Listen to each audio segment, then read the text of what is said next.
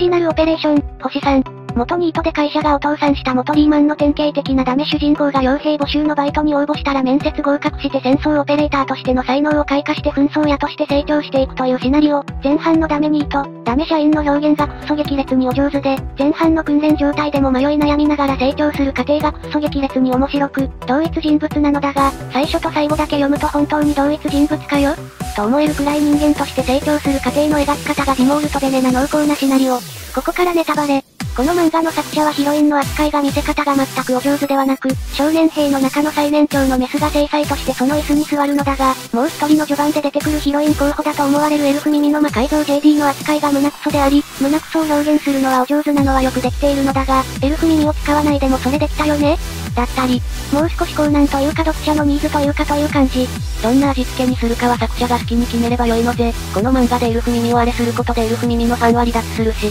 それの内容を評価するご神父さんが離脱率よりも高いのか？という話なので。離脱率なんかよりも自分が書きたいものを書くんだ。離脱する奴は勝手にしろという価値観もそれはそれで作者の自由な選択だからね。